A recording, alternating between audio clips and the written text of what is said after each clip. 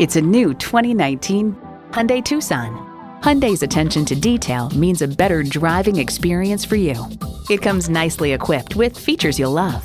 Streaming audio, wireless phone connectivity, air conditioning, three 12-volt power outlets, manual tilting steering column, inline four-cylinder engine, aluminum wheels, gas pressurized shocks, and smartphone wireless charging.